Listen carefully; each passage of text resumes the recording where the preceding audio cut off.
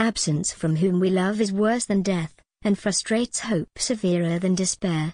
A quote from William Cowper.